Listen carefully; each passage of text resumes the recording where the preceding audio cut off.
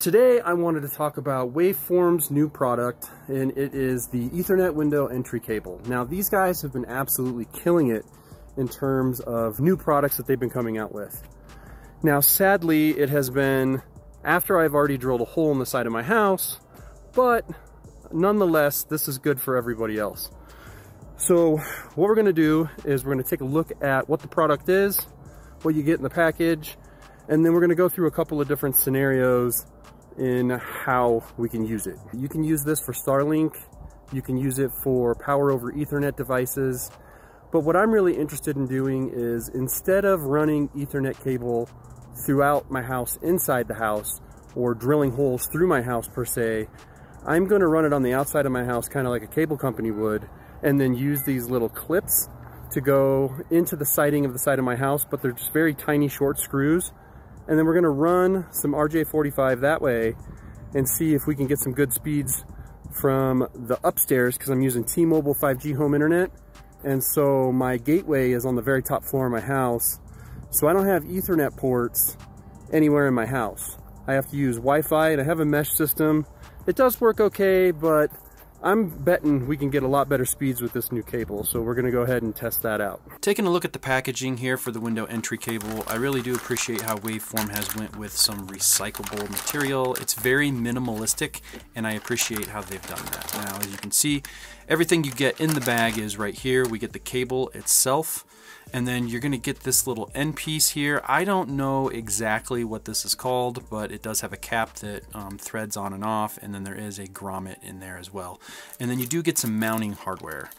Now to show you how that grommet works real quick, it is pre-cut, so you're gonna go ahead and you can just pull that apart. You're gonna wrap that around your cable, and then you're gonna run all of that through the end cap and then thread it all together. And I'll show you how to do that here in just a little bit when we get to it. We'll run a cable through there and I'll show you exactly how it works. Now for anyone interested, the cable is approximately 1.5 millimeters thick, or for inches, it is 0.05 inches thick, which is not very thick at all.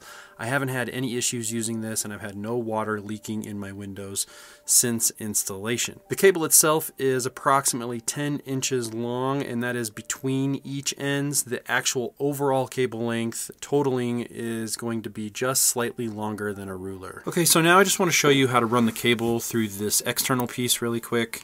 Uh, we're not going to hook it up to anything. The first thing you're going to do is you're going to just run your Ethernet cable through the end cap and then you're going to take the other larger piece and you're going to run your cable through that. Now at this point we would ideally connect this to the actual window entry cable and we would thread it together so that we get the proper length. And then we would put our grommet on, slide the grommet into the end and then take the little end cap piece and we would thread it down and tighten it up. And that's going to give you your proper length for how much cable you need in there but because we didn't hook this up to the actual window entry cable I'm just doing this for demonstrations so that you can see kind of how this works. So now I'm going to go ahead and employ my son and we are going to go ahead and run some cable on the outside of my house and see if we can get Ethernet from the top floor of my house all the way down to the basement. So let's do it.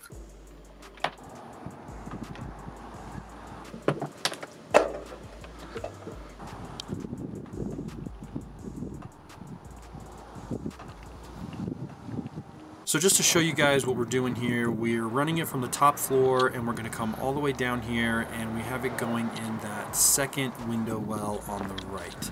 Now ideally we're going to clean this up and we're going to use some clips to run along the side of my house that look like this. This is what Xfinity uses in my area when they're going to run coax. So we're going to just put the RJ45 through those clips and we'll get it all cleaned up and then hooked up and we will be back. So we have all of the cable ran. Uh, we're going to go ahead and put the window entry cable actually in the window itself and then once we have that done and we have the window secured and everything looks good there we're to go ahead and then hook up the actual cable and then run that to my router and then we're to go downstairs in my basement and we're basically to do the exact same thing. So for this process I did need to use two of these cables, not just one, but if you were using this for like Starlink or a power over ethernet device or something like that, then you most likely would only need one of these cables. Now that we have everything hooked up, I want to go ahead and run a speed test using our new ethernet cable that we ran in conjunction with two of the waveform Ethernet window entry cables. And you will see here that we're going to get a baseline over Ethernet of 371.05 megabits per second down and 94.84 megabits per second up with a ping of 25 milliseconds. Now I want to go ahead and turn off the Ethernet port on my computer and then I'm going to go ahead and turn on the Wi-Fi and I'm going to show you the speeds that I was getting prior to hooking any of this up. So we're going to go ahead and we're going to rerun the same test using the exact same server on speedtest.net but this time it's just going to be over my mesh system using Wi-Fi and not using the waveform window entry cable. You will see here that it takes a little bit longer to connect, but we do get a ping of 26 milliseconds and we're going to get a download speed of 146.62 megabits per second down and then we're going to get an upload speed that's actually quite close to the upload speed that we got previously and it's going to be 89.86 megabits per second up. So overall we did get over double on our download speeds. Our upload speed stayed the same, but I'm very happy with what we're getting with this new cable. Now the next thing I want to try is I want to hook this up to a power over ethernet device. I did order a camera and an injector off of Amazon. The camera that I used, I'll put the description and the link to the exact camera in the description, but I'm just going to show you here that I have everything hooked up to ethernet and then I downloaded the app on my phone and I will show you that it is working. But the only cord that is connected to this device is the ethernet cable using this window entry cable and it's going directly to my router upstairs. Now I got the app downloaded on my phone. They do have an Android and an iOS application and for the purposes of this video I do have everything loaded on my Samsung Galaxy S24 Ultra and I just want to show you here that you can see me.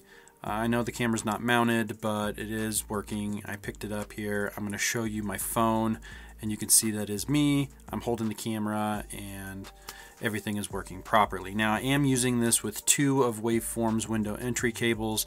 You don't have to use two though. It would probably work better if you just used one because obviously the longer the cable is that you're using, you have the potential to lose bandwidth depending on how many feet of cable you're using.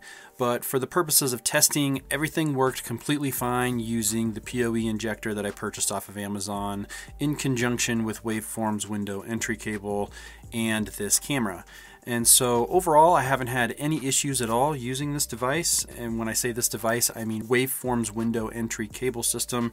It works really well and it really provides clarity in the fact that you just don't have to drill holes for things that you would normally have to drill a hole for. And so I can't speak highly enough about a lot of the products that's coming out of this company right now. That's about all I have for this one. If you have any questions about this product at all, hit me up down in the comments and I'll get back to you as soon as I can.